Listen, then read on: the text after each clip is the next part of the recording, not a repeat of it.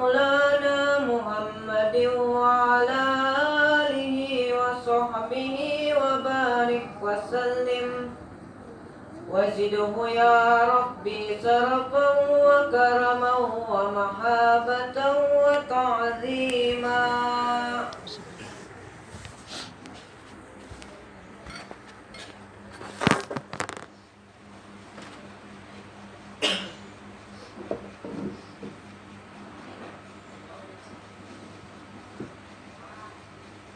Selamünaleyküm ve rahmetullahi ve berekatuhu.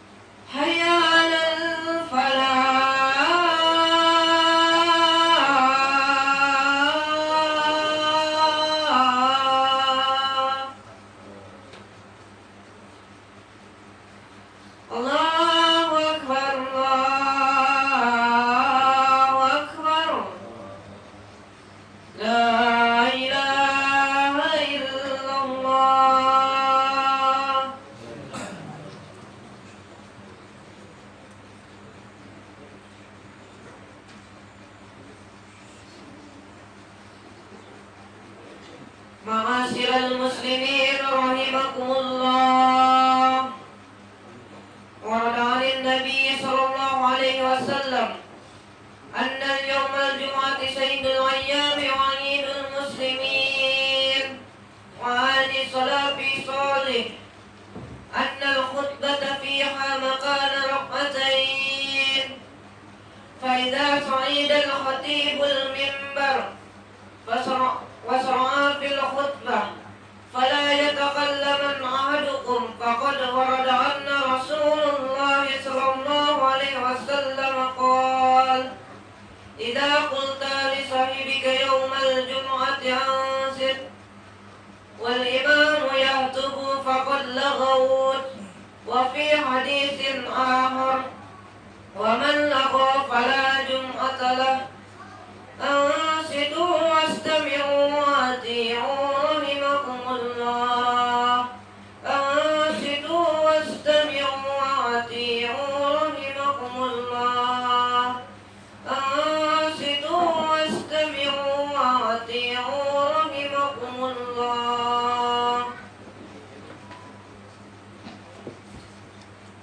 إن الحمد لله نحمده ونستعينه ونستغفره ونعوذ بالله من شرور أنفسنا ومن سيئات أعمالنا.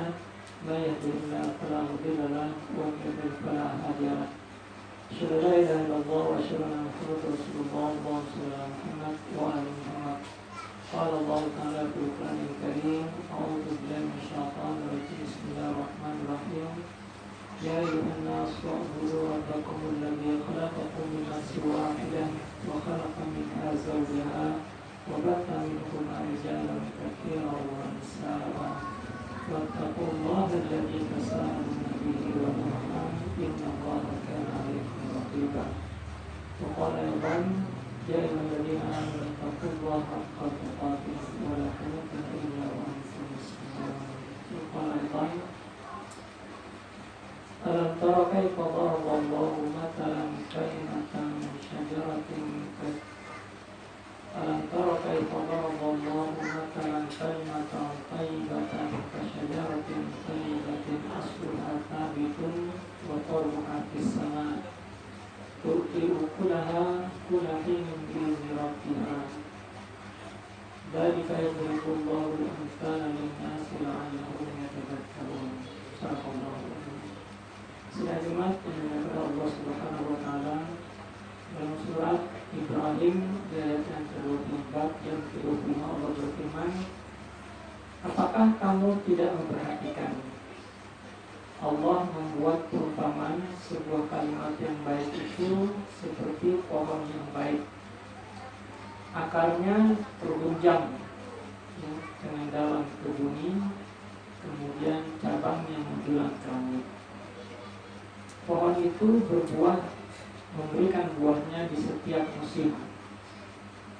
Demikianlah Allah memberikan perumpamaan bagi manusia agar mereka menjadi mendapat peringatan. Allah memulai kata ayat ini dengan mengatakan alam taro. Nah, yang biasa kita baca itu adalah alam taro kaifa fa ana rabbuka bi ashabil tapi dalam ayat ini Allah mengatakan alam tara kaifa daraballahu kalimatan thayyibah. Jadi ketika Allah memulai sebuah ayat itu dalam kata-kata alam tara kaifa, apakah kamu tidak memperhatikan? Ini meminta kepada kita agar ayat yang berikutnya itu mendapatkan perhatian dari kita. Kemudian Allah mengatakan kalimat kalimat thayyibatan ya, kalimat thayyibah Nah, sebagaimana kita ketahui, yang dimaksud dengan kalimat thayyibah itu adalah kalimat la ilaha illallah. Jadi Nabi Musa alaihissalam itu pernah meminta kepada Allah Subhanahu wa taala, "Ya Allah, tolong ajarkan kepadaku zikir." Yang dengan zikir tersebut aku bisa mengingat Engkau. Lalu Allah mengatakan kepada Musa, ucapkanlah la ilaha illallah. Lalu Musa mengatakan, Ya Allah, itu sudah dilakukan oleh nabi-nabi sebelumku.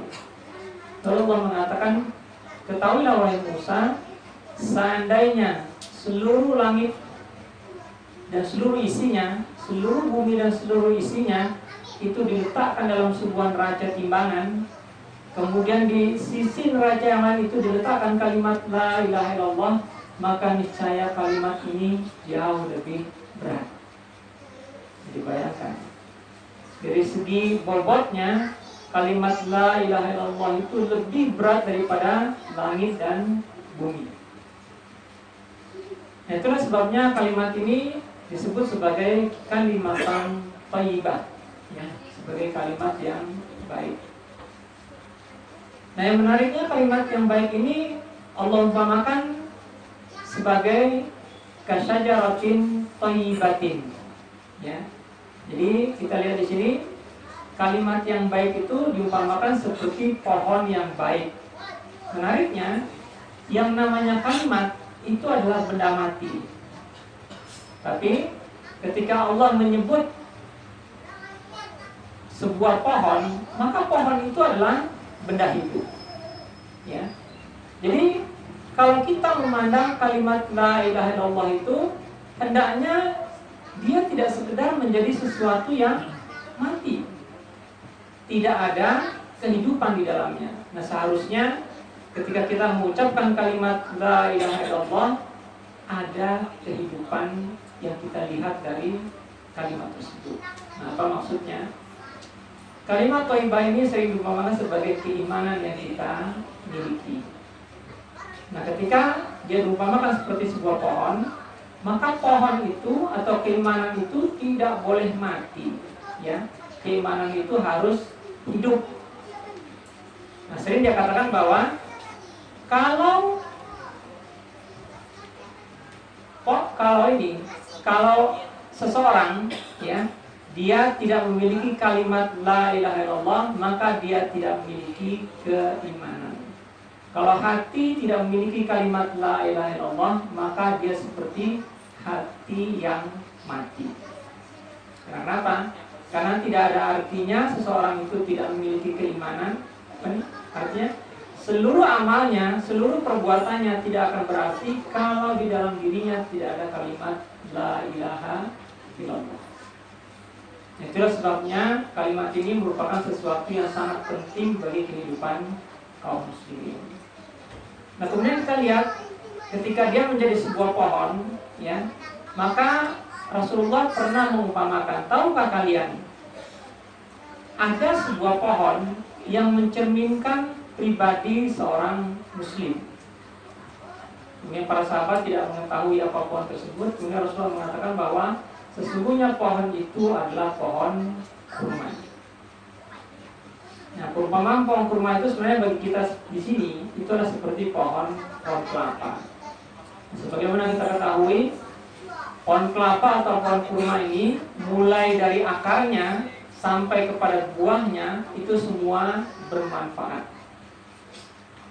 Akar dari pohon kurma itu bisa digunakan sebagai bahan untuk obat-obatan kemudian batangnya bisa digunakan untuk papan, untuk tiang dan sebagainya. Kemudian daunnya bisa digunakan untuk atap.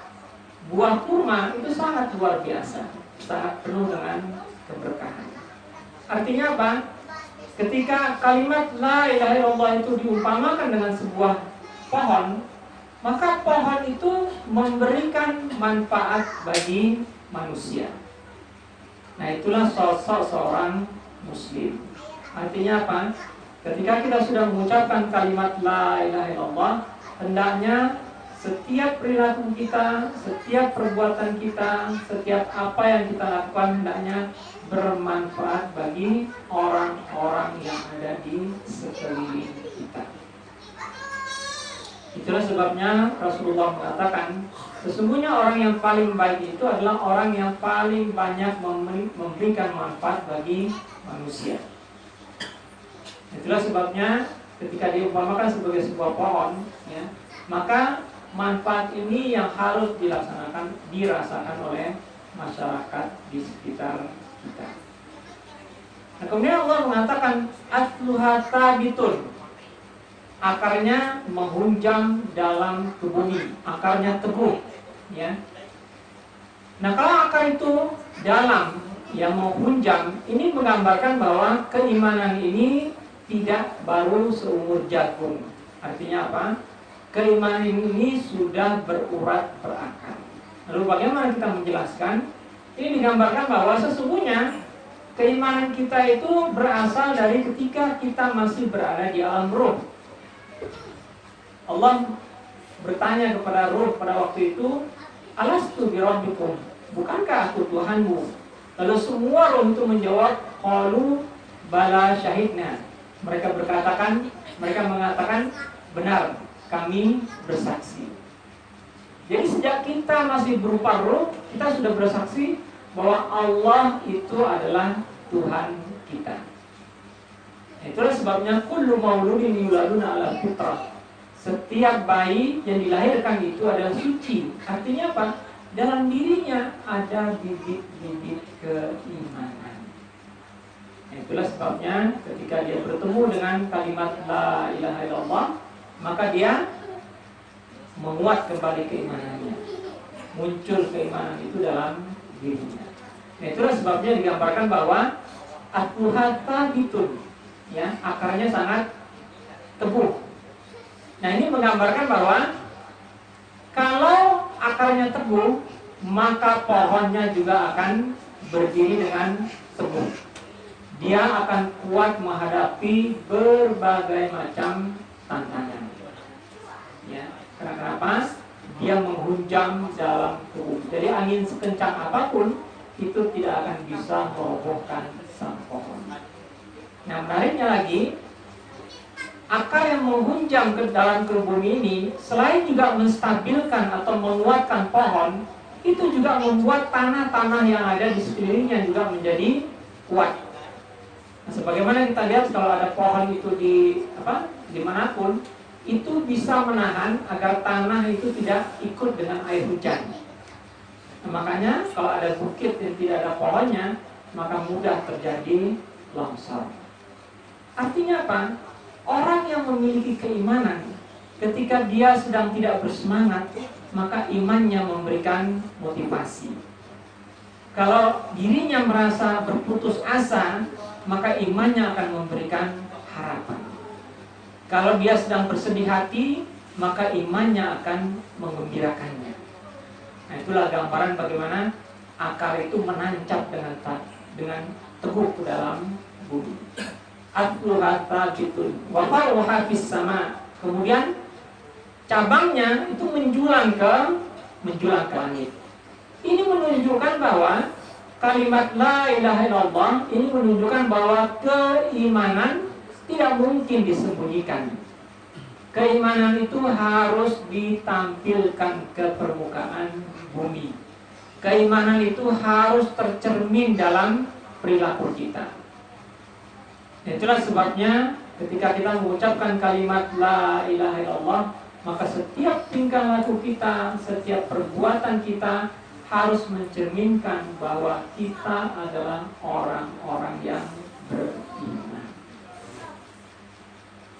Nah kalau sudah seperti ini, maka ketika dia menjadi murid, dia menjadi murid yang rajin, murid yang disiplin, yang datang tepat waktu, kalau dia menjadi guru, dia menjadi guru yang baik, mempersiapkan pelajaran untuk muridnya. Kemudian dia juga datang tepat waktu, tidak merokok di sekolah dan sebagainya. Artinya apa? Dia memberikan keteladanan yang baik. Kalau dia menjadi petani, menjadi petani yang baik, yang tidak mengotori saluran air itu dengan insektisida, tidak mencemari lingkungannya dan sebagainya. Nah kita lihat siapa pun dia, apa pun yang dia lakukan, dia senantiasa menjadi orang-orang yang bisa menjadi teladan bagi lingkungannya. Kemudian Allah mengatakan tu'ti ukulaha kulahin Pohon ini berbuah itu di setiap musimnya. Nah ini karena diceritakan ini Ustadz yang bercerita ini dari luar negeri, dia mengatakan buah uh, pohon ini berbuah di musim panas dia berbuah di musim dingin dia berbuah di musim semi dia berbuah di musim gugur kalau kita cuma dua musim di sini. Nah ini kata beliau sebenarnya hampir tidak ada pohon yang berbuah di semua musim ya pohon-pohon yang besar seperti itu nah itulah sebabnya bayangkan Orang yang beriman itu adalah orang yang memberi manfaat bagi orang lain di mana saja, kapan saja, ini luar biasa. Ya, artinya apa? Manfaat yang diberikan kepada manusia itu tidak mengenal waktu. Mudah-mudahan dalam kesempatan berikutnya kita bisa menjelaskan buah-buah apa saja yang dihasilkan dari pohon keimanan. Nah mudah-mudahan yang sedikit ini ada manfaatnya bagi kita dalam rangka untuk bisa mengaplikasikan bahwa ketika kita sudah mengucapkan kalimat la ilaha illallah tidak cukup kita hanya dengan berdiam diri saja. Keimanan tersebut harus muncul dalam diri kita dan memberikan manfaat bagi orang lain. Barakallahu li wa lakum fil Qur'anil Karim wa nafa'ani wa iyyakum bima fihi min al-ayati wa dzikril hakim. وتقبل مني ومنكم تلاوته إنه هو السميع العليم فاستغفروه إنه هو الغفور الرحيم اللهم صل وسلم وزد وانعم وتفضل وبارك بجلالك وكمالك على أشرف العباد سيدنا ومولانا محمد وعن كل صحابة رسول الله أجمعين.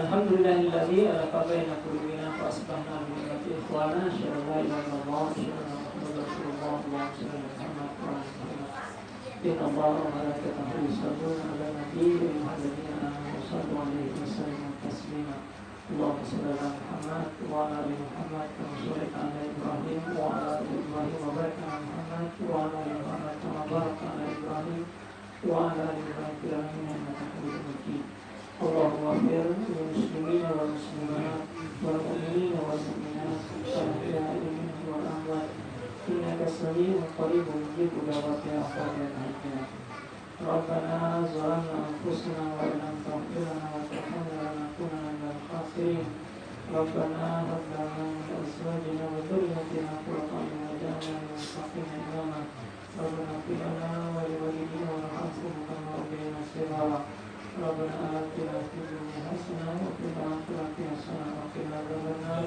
وصلى الله على سيدنا محمد وعلى آله وصحبه وسلم سبحان ربك رب العزة عما يصفون وسلام على المرسلين عباد الله إن الله يأمر بالعدل والإحسان وإيتاء ذي القربى وينهى عن الفحشاء والمنكر والبغي يعظكم لعلكم تذكرون فاذكروا الله يذكركم واسمعوا واعلموا أنكم وأنتم الله السلام الله أكبر الله أكبر. أشهد أن لا إله إلا الله.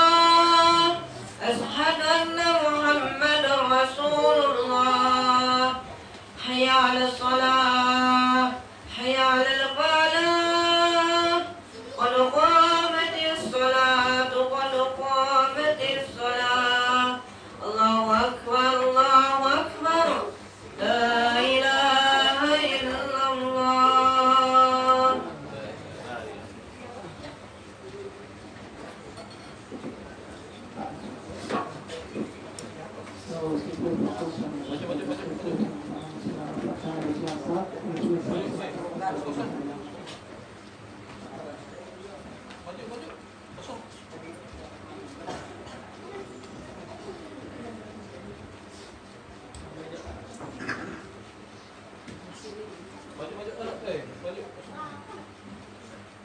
descargar.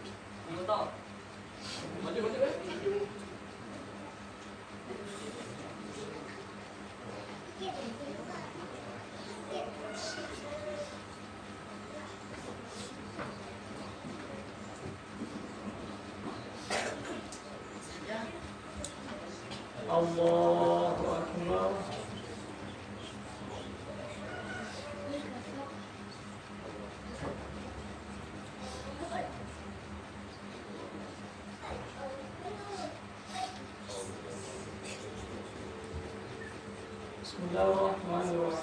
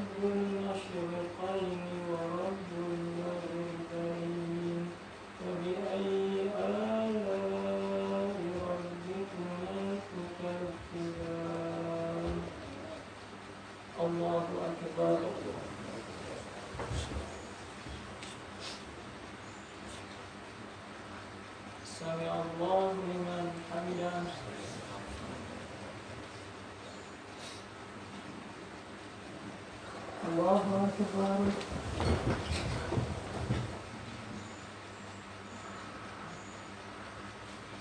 الله أكبر.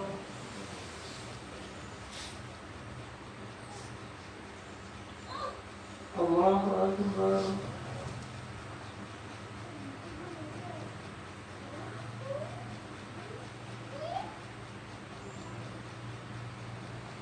الله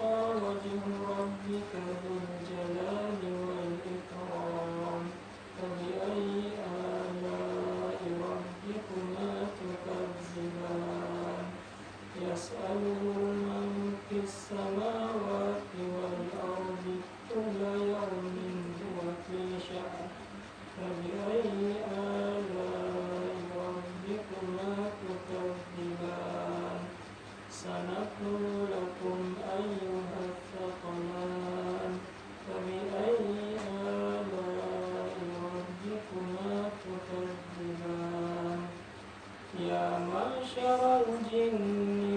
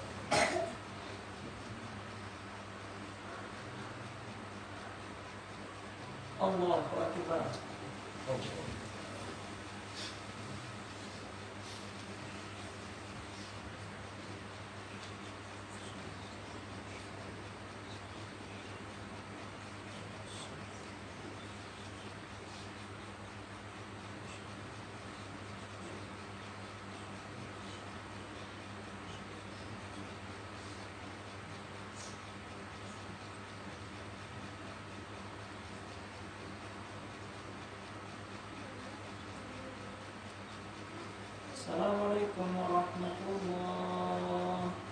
السلام عليكم ورحمة الله.